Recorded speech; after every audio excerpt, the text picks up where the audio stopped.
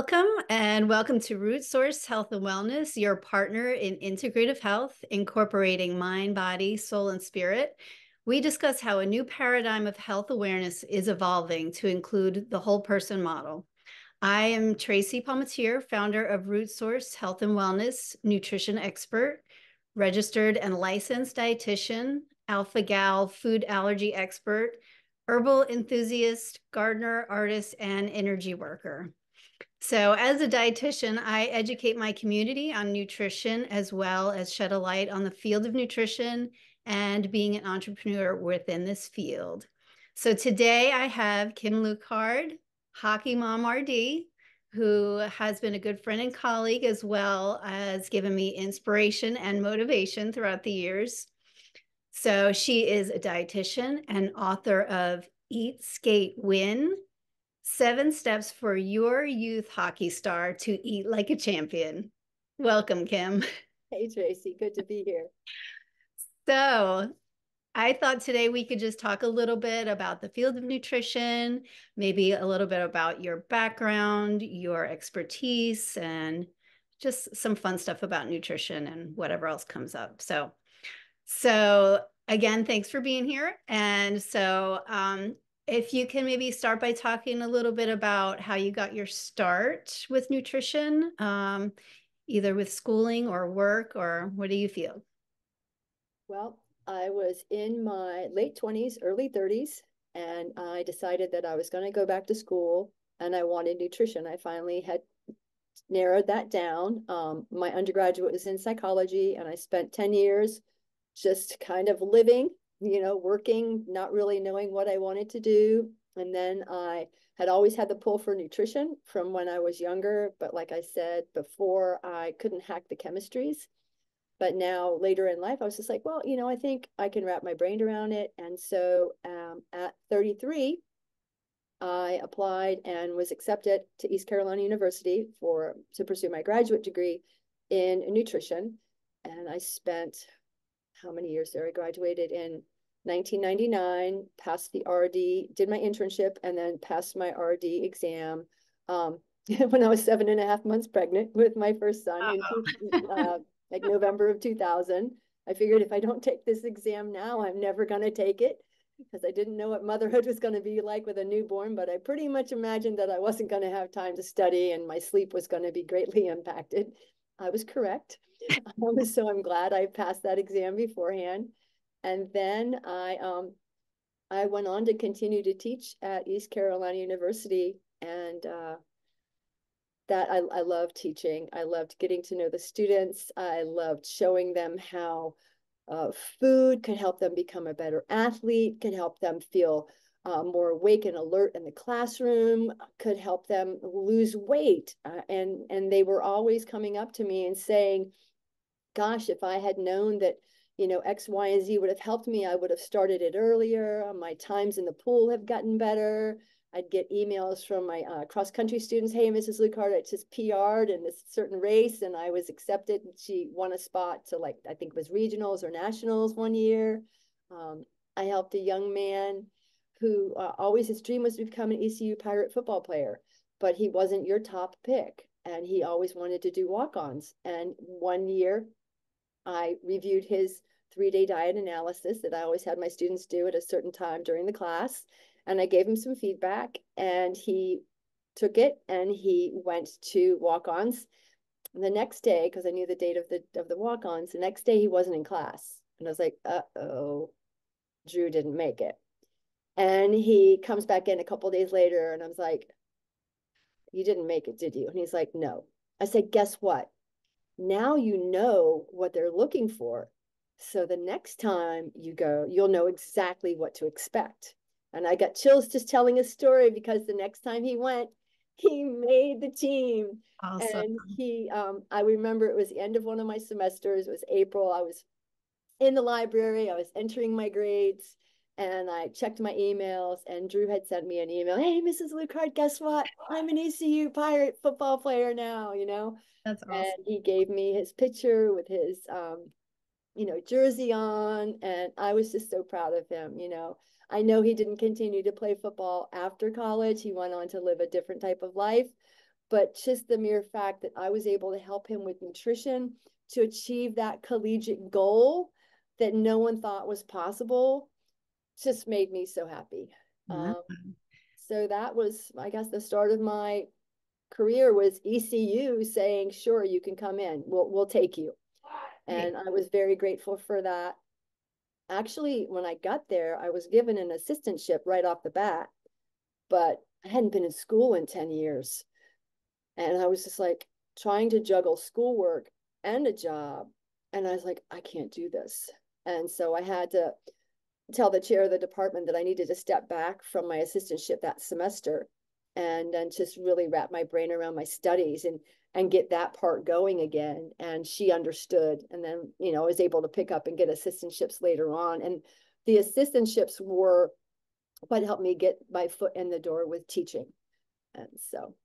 Fantastic. But that story makes me wonder is that what sparked your interest in writing a book in in that topic of sports? Um not really. It was my sons and um, they started hockey at six and eight which even in eastern north carolina is late because we have ice year round. Some people don't know that to this day which is crazy but yes you, you can have ice year round just about anywhere if you've got good refrigeration in, in a facility. And uh, most of the boys and young girls that played with my son started at like three and four learning how to skate. And so robert and duncan started at six and eight. And robert's first year he was on the developmental team. And um, he would be really excited to get on the ice and then he'd get off the ice and he'd be practically in tears. And it really made me upset and he would tell me that the kids were bullying him the kids were making fun of him because he couldn't skate as fast he didn't understand the game as well as they did. And that really made me sad. And then so robert and i had a talk and i said you know what robert? Mommy knows stuff that most hockey parents don't know. And they had already been in my classes, you know, at six and eight, they were veteran students right. in my classes at ECU. And so I said, Will you will you work with mommy on on what foods you eat? And he said, Yes. And so we started slow, really slow, you know, slowly starting to learn. And within a year, he was awarded most improved. And um, so it was really the the love of my sons because what really really broke my heart was in a competition you have you know first second and third and then you have something called for the games and then you have something called a skills competition. And that particular season robert was a developmental player but he was asked by the coach to be in the speed drill. And he helped the team win the speed drill. But yet, when they invited the team out onto the ice to be presented with their third place medals, the coach stopped Robert from going onto the ice and said, You're not part of the team. Mm-hmm. And Robert ran to a place in the rink and just started crying. And I was just like, I didn't know what to say. I was brokenhearted. And the um, head of our hockey association came around and she gave him the medal and she said, You are a part of the team. You earned this medal. And really, from that day forward, I was just like, no, you don't. no, you don't. And um, we continued to work on nutrition with Robert. And um, he had to take a year off in the sixth grade from hockey because all his friends went to Raleigh to play, but we didn't have enough kids to play his his level um, in Greenville. And Duncan was still playing at a, at a at a younger level, so I couldn't be split between the two. Plus, I was working at ECU and at Cypress Glen at that point as a as the dietitian for the retirement home, and so I um I worked with him on nutrition in his weightlifting. I worked with a great uh, weight trainer in town who was already training his son and a, another younger man who was about Robert's age. So Robert continued to learn about nutrition, and now we we fast forwarded to how do I eat before and how do I eat after to gain muscle and it, from the sixth grade, he started at 4'11 and 72 pounds when he was 11 years old, a few months before he turned 12. And his trainer said, he won't last a day without food in the wild. And I looked at Johan and I said, trust me, he's eating. Mm-hmm. And um, by the time he was, so that was the beginning of sixth grade. By the time it was spring, when he, in the seventh grade, he had grown to five foot seven and he had gained up to 114 pounds. Wow. Now that still sounds very thin, but that's a practically a 40 pound weight gain. Right. And it was muscle. Yeah. And I have video and you can see this kid's vertical jump and you can see this kid's pull up. And and he um so that was that was what really spurred me on. And that really was when um in the sixth grade that um it was spring of 2013 when I started to write my book and I was working with my uh, book writing coach Donna Kozik. So it was when Robert was in um, the uh, second semester of sixth grade, I believe it was, when I started to outline my book and write it. Mm-hmm. So it was it was helping it was helping him and Duncan. Um, Duncan not so much. Robert was really the focus, and um, and then he was my kid who went on to become a vegetarian at 15. Wow. Wanted to be a vegetarian at 13. I was like, no, I'm sorry. You don't have a wide enough variety of foods to choose from right now. I said, we need to, we need to wait a couple of years. And in ninth grade, he he dove in. He's like, I want to be a vegetarian. And he's a vegetarian to this day, and he's 23. Wow. So I was going to ask, what is maybe one of the top things you recommend for kids um, that are really trying to improve their endurance or their whatever it is for sports just to improve um, just first thing and this is the first thing that i work on with my my hockey parents because everybody wants to know what do i eat before practice? What do i eat before a game? That's a great question but what are you eating every day? Right. What are you eating day in and day out so one of the first things that we work on after I do their assessment is making sure their son or daughter is eating three meals, eating a mid-morning snack, a mid-afternoon snack, a pre-skate snack, a post-skate recovery snack, and a bedtime snack. The majority of the skaters that I work with do not need to lose weight. Mm-hmm. I have worked with a handful that have had to make major changes. I mean, I've worked with kids that had elevated liver enzymes, their A1C, they were like borderline diabetes. Their endocrinologist was scared, and the mom worked with me in my group. And she's like, his endocrinologist was blown away. I was like, yes, because mom and son worked together as a team. Mm-hmm. I yep. can't make that happen if they're not willing to learn and try what I'm suggesting. But bottom line, the first thing, make sure they're drinking enough water. Mm-hmm. Bottom line, foundation, water and sleep right? And then go to their foods breakfast, lunch, dinner, and then the three snacks throughout the day, a minimum. And sometimes parents are like, oh my God, my kid can't eat that much food. And it's like, it's not that much food. You know, we tailor the food portions to their needs. So a snack might not be anything more than maybe it could be like a few almonds and a low fat cheese stick in between classes in high school. Sure. But they're going to get a little bit of calcium in those almonds. They're going to get protein, a little bit of protein. They're going to get some protein in that cheese stick. And it's going to pack a punch with satiety until they get to lunchtime. And it's going to add the calories because what parents and skaters don't understand is what you're eating at breakfast, mid morning snack, and lunch, you're really stocking your tank for your afternoon practices if you sleep in and you don't or you skip breakfast and then you skip your mid-morning snack and then you only have your lunch you're going to show up to practice whether it's hockey lacrosse mm-hmm. skating cheerleading swimming soccer whatever you're going to show up with maybe 50 to 60% of what your body needs and no matter how much you push your body you're not going to be able to give your best right. and in order to improve your confidence and make the coach recognize you that you should earn more playing time or move up on the ranks of the lines like in ice hockey, you're not going to get there. So, bottom line water, sleep, water, three meals, three snacks, the right. minimum. And then you go from there. And I think it's so important that you make that we provide easy snacks that are whole foods for parents. So, you know, you don't have to be out there cooking meals or snacks. It could just be a whole food that you just say, here you go, you know, and it's easy. It's it's grab and go type foods. Mm-hmm. It doesn't have to be so complicated. So I love that. Um so changing gears maybe just a little bit. So I kind of want to talk a little bit too about the profession and maybe um some advice that you would give to maybe some new some students or um, people that are just graduating, um, you know, we don't learn business in our undergrad at all.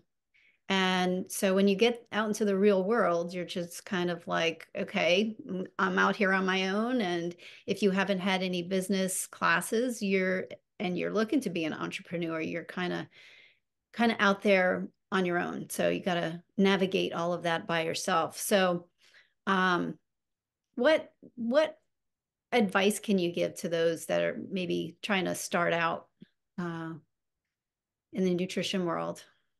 So there would be um, dietitian entrepreneurs. Yeah.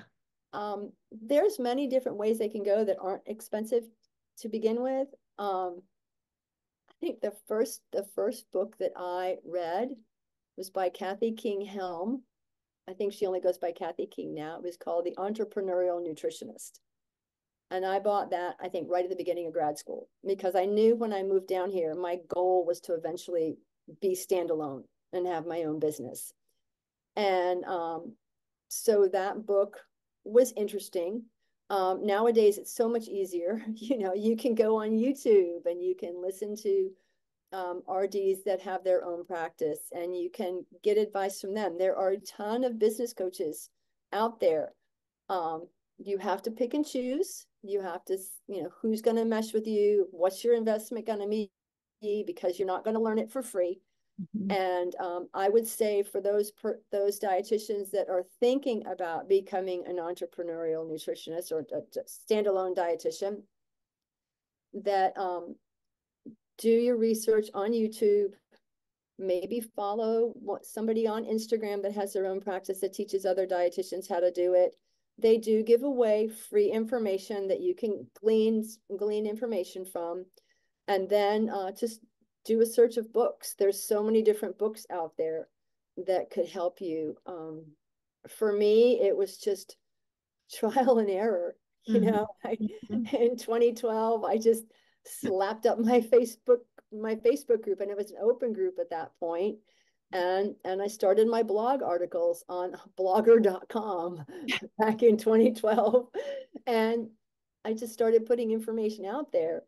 And I didn't even have maybe 30 or 36 people that had liked my Facebook page. I had a hockey mom who had found me and she sent me a message I love your stuff. There's nothing like this out there. Mm-hmm. And that was like.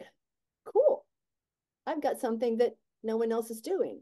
Gave you some fuel. Yeah. And so um, there's so many different ways to go that you have to get known, you know. So if you want to just start your own Instagram channel and start putting little snippets up there and and get people asking you questions or you know try to have a free class to to to start doing your own market research because I knew from the beginning I wanted to work with hockey players. Mm-hmm. That's not the norm.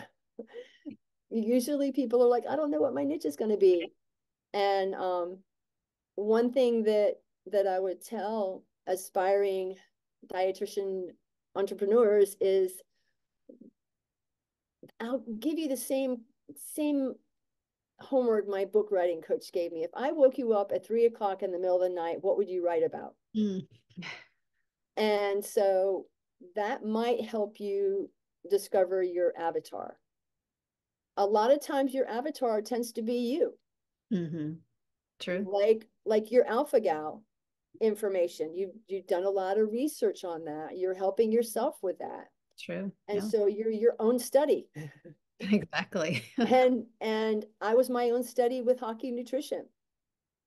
And uh so there's no there's no one way but i'd say if you even after you even before if you know even before you sit for that rd exam if you want to open your own doors start doing your research mm-hmm. start asking people questions and just go for it yeah I also found talking to other colleagues that have done what I'm looking to do, um, mm-hmm. just kind of pick their brain and say, how did you, how did you do this? How did mm-hmm. you get started? Um, I've done that a couple of times. I've also reached out. There's a in every community there's a a small business um, uh, what is it called? A small business bureau, or Mhm. there's so many free uh, classes and information you can go and talk to people. That was a good resource for me. Um, there's only so much you can glean from that. Um, again, you know, it's writing a business plan and which is all wonderful, but um, putting the steps, the action steps in motion is a little bit different. Um, but yeah, I think I think all of it is is so important. Um, and just I, I really stress taking business classes too. Just while you're in college, do it. It doesn't sound fun and exciting, but but especially like ECU now has an entrepreneurial track in the business program. And um, unfortunately, the way our curriculum is built, I was always told that, that we didn't have space. I mean, we barely had space for any electives. sure. So because of everything that we had to do for the national board, right? Um, so that's why I, I thought it'd be great to bring in, just have like a little workshop event. So those dietitians that wanted to start learning and could hear from dietitians out there that were already in practice at different levels would be great. I mean, hearing from someone who's blowing the roof off and is a million dollar dietitian, which is possible, Mhm. um, is wonderful. But it's also nice to hear from the people that are just getting started or just starting to ramp up. And that gives that can give you a little bit more hope of, oh, I don't know how I'm going to get there. I really want to get there, Mhm. but this is where I'm at right now. And what are the baby steps that I need to take? Sure. And even possibly be a mentor for those students to kind of Mhm. walk them through everything. Yep. So do you see the field of nutrition kind of uh kind of changing um since you've been in school? Do you as far as um track work and then um just kind of outside of that, do you see it changing at all? Shifting? I don't know what the tracks are now. You mean the um in the internship?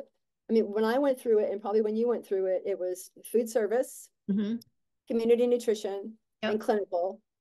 And I don't even think we had a couple weeks to like pick some place where we could go to specialize. Um, I know nowadays there are programs that like will let you do like a month in sports nutrition during your internship. But um, I'm not sure if the tracks have changed or not.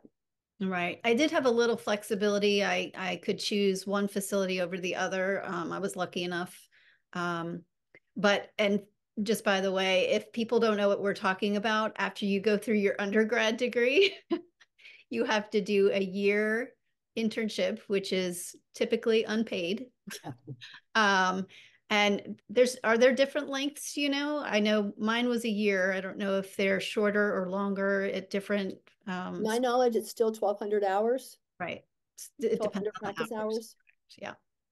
So it's, which is about a year long. So that's Yep. side of your core, um, your core classes for undergrad. So, Yep. So now they'll be doing undergrad and their masters. right. It is, that turns it into a seven-year degree. Okay. I didn't If you realize. think about it, it's four years. And then two years for masters, and then another year for the um internship. Unless there's some way to start your master's work when you're a senior and kind of collapse that time. Right. Right. which would be nice. Yeah. Mhm.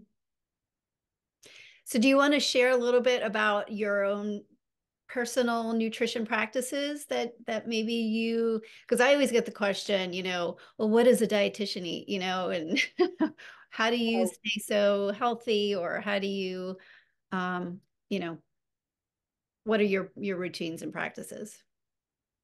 Well, I'm a performance dietitian, and it's not only with sports, it's also with how I feel throughout the day.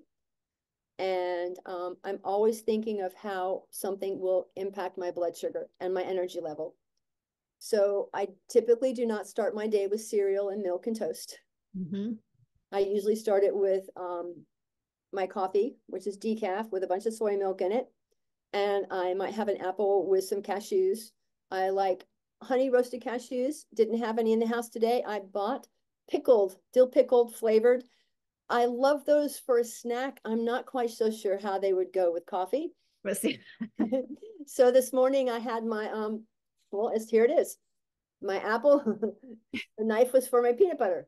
So I had um an apple with peanut butter to uh, start my day. And I do not measure my tablespoons of peanut butter. I probably consume about a quarter of a cup or more mm -hmm. of peanut butter with my apple.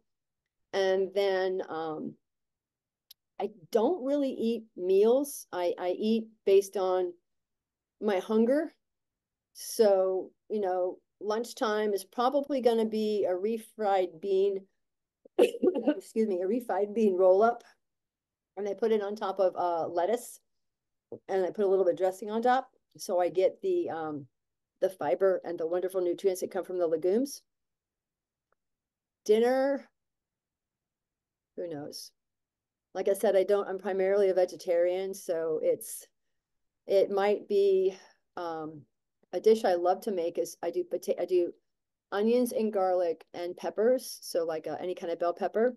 Mm-hmm. And then I put uh, chopped up potatoes with that.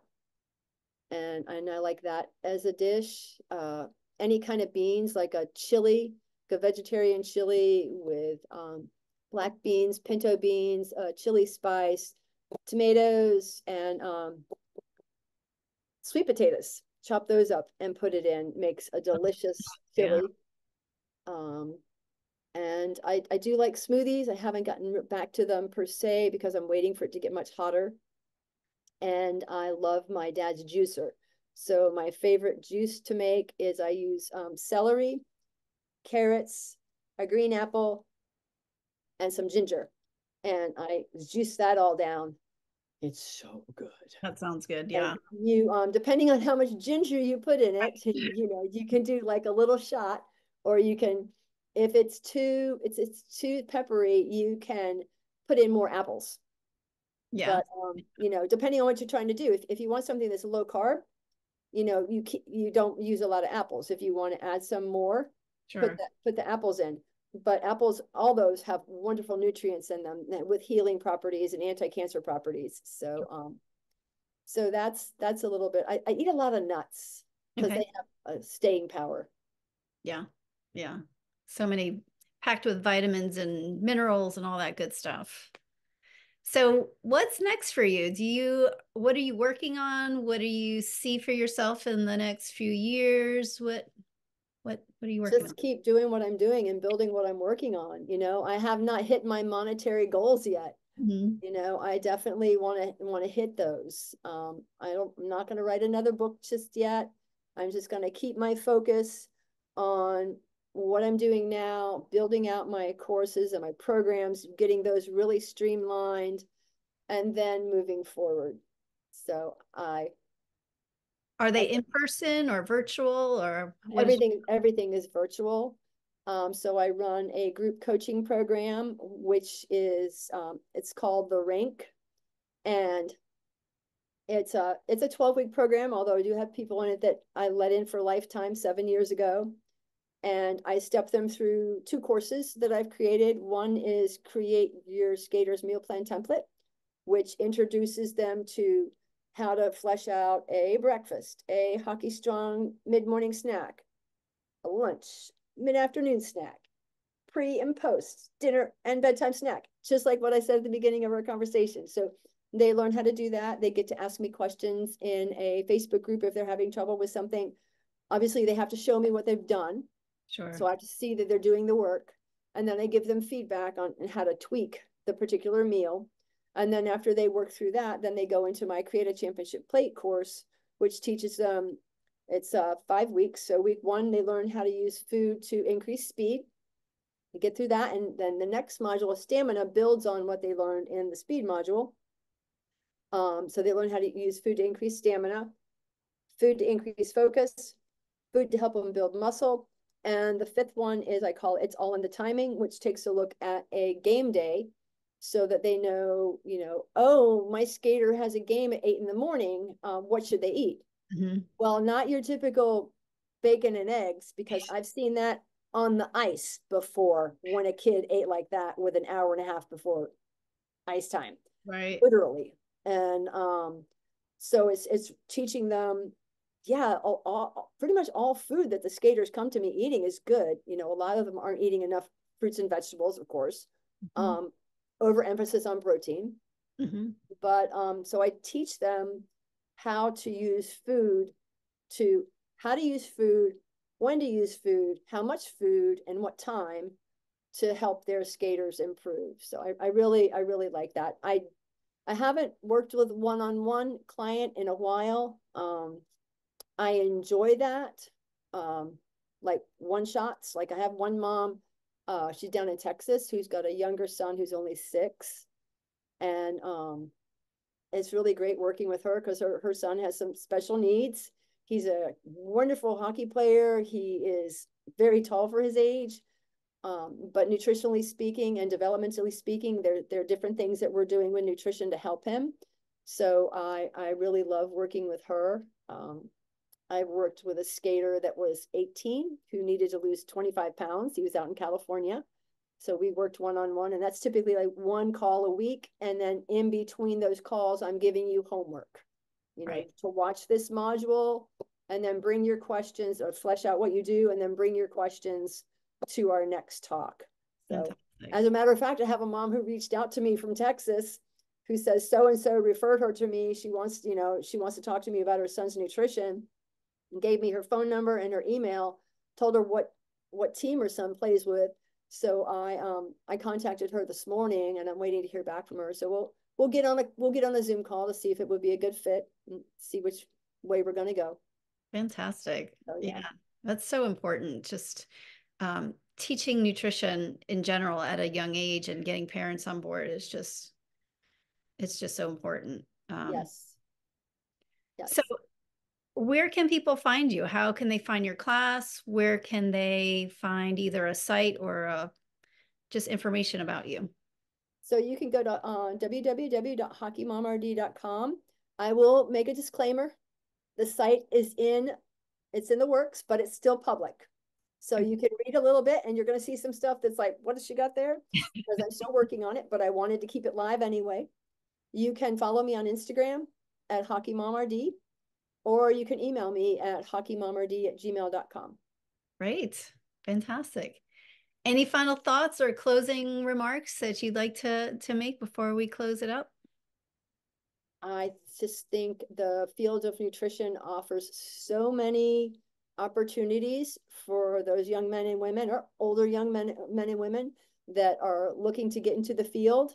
They don't have to think inside the box. They can think outside of the box and they can build any kind of career they want to build within nutrition after they've gone through the schooling, right. after they've done their internship, and after they've passed the national exam. True. And then one thing we didn't mention was every five years we need to do our continuing education credits. Correct.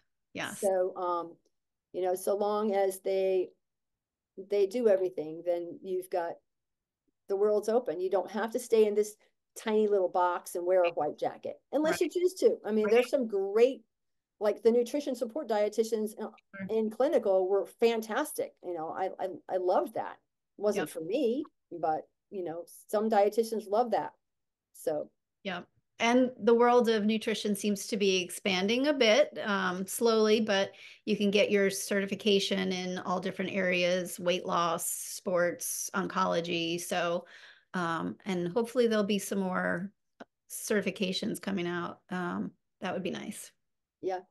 So, all right. Well, I appreciate you being with me today, and maybe we'll um, do a follow up sometime down the down the road and maybe hear about a new book or some more classes coming out.